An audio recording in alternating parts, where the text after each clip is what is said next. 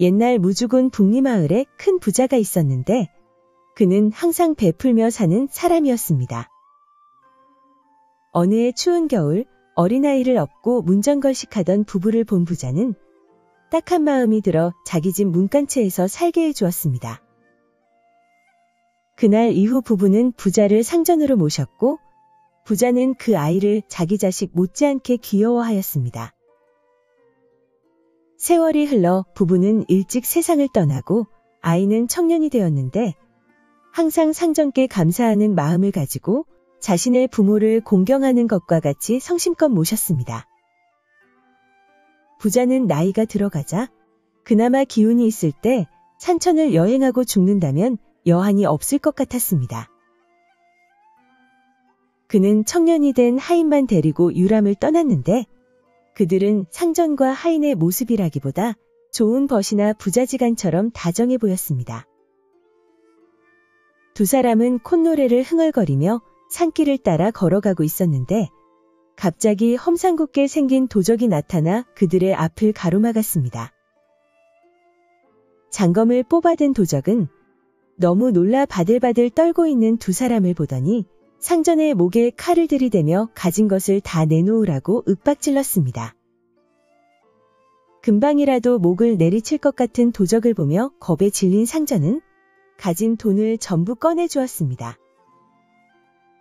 상전은 돈을 다 주는 것도 아깝지 않고 자신은 나이가 많아 지금 죽어도 상관없지만 젊은 사람을 몇 날 며칠 굶길 수 없으니 젊은이를 위해 밥값만 남겨달라고 도적에게 청했습니다. 그런데 갑자기 하인이 상전의 말을 가로막으며 나섰습니다. 하인은 도적에게 자신의 얘기만 들어주면 지금 죽어도 여한이 없다고 하더니 상전을 가리키며 그는 상전이 아니라 철천지 원수라고 말하는 것이었습니다. 저놈은 자신이 어릴 때 부모를 죽인 원수인데 자신은 그 원수를 갚기 위해 하인으로 일하면서 기회를 엿보고 있었다고 말을 이었습니다. 그 말을 들은 상전은 기가 막혀 하인에게 은혜도 모른다고 꼬지졌습니다. 이야기를 듣고 있던 도적이 자신에게 원하는 것이 무엇이냐고 하인에게 물었습니다. 그러자 하인은 자기 손으로 직접 상전을 죽여 지하에서 눈도 못 감고 계실 부모님을 떳떳하게 뵙고 싶다고 하면서 장검을 빌려달라고 하였습니다. 도적은 제 손으로 사람을 죽이지 않고 돈을 빼앗을 수 있게 되었으니 그리 나쁠 것도 없겠다고 생각하였습니다.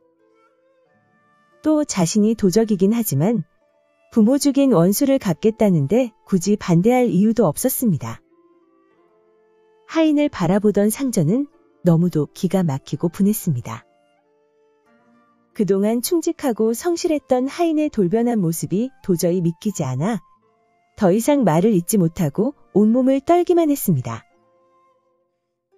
하인은 상전에게 이런 기회가 오기를 얼마나 기다리며 살았는지 아느냐고 하면서 당장이라도 죽일 듯이 노려보았습니다. 상전은 자기가 언제 내 부모를 죽였냐고 화를 내며 의지할 곳 없는 너희를 거두어 주었더니 그 공을 칼로 갚으려 한다고 한탄하였습니다. 하인은 여전히 그를 원수 대하듯 하며 자기가 그 당시 아무리 어렸어도 그 사실을 모를 줄 알았냐고 대꾸하더니 도적에게 칼을 빌려달라고 다시 사정하였습니다. 두 사람이 다투는 모습이 재밌다는 듯 구경하던 도적은 장검을 선뜻 하인에게 넘겨주었습니다.